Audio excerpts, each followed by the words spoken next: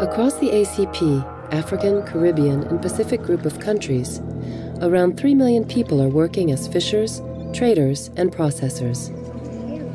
The sector faces many problems, including weak and ineffective governance, poor policies, and bad institutional structures. This has led to the widespread degradation and depletion of the natural resource base, and thus to greater poverty among fishing communities, a decline in food security, and in general, a suboptimal use of fisheries resources.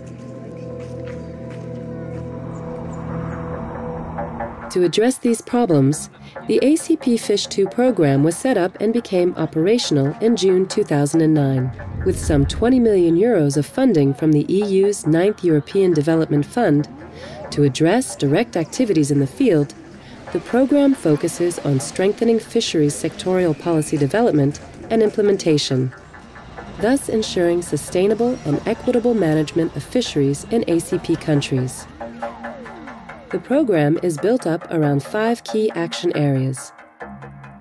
Improved fisheries policies and management, reinforced control and enforcement capabilities, scientific research strategies and initiatives, improved regulatory structures supporting private sector investments, increased knowledge sharing and trade.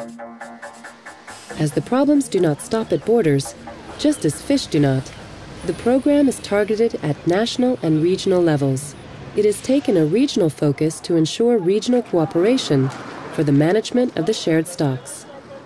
In order to support the demand driven approach that the program was built on, regional workshops were organized to define national and regional needs, to propose and approve the projects to be implemented, and to later on follow up on the projects and control their implementation. As they are attended by representatives of fisheries administrations and regional fisheries bodies from all countries in all the regions, they strongly contribute to the creation, in every region, of common interests and a common understanding of the problems and potential for solving them. The most effective way to involve all concerned entities in fisheries development is to empower those who are affected by the actions and make them responsible to find the best solutions. More than 150 stakeholder consultative and validation workshops will support and achieve this participatory approach, thus assuring the ownership of project results by the beneficiaries.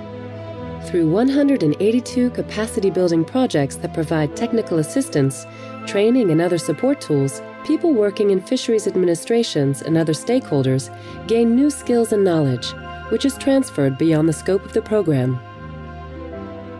15 countries in the Caribbean region are covered by ACP Fish 2 Antigua and Barbuda, Bahamas, Barbados, Belize, Dominica, Dominican Republic, Grenada, Guyana, Haiti, Jamaica, St. Kitts and Nevis, St. Lucia, St. Vincent and the Grenadines, Suriname, Trinidad and Tobago, the program regional unit is based in Belize City, Belize, and is responsible for the 29 selected projects to answer the needs of the region. The program coordinates and collaborates with key regional fisheries bodies and regional economic organizations. The ACP Fish 2 program inspires fisheries administrations and stakeholders to strive towards sustainable fisheries.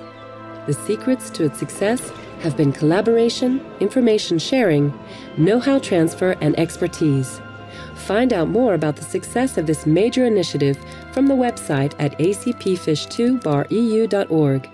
Play your part and fly the flag for sustainable fisheries management in ACP countries.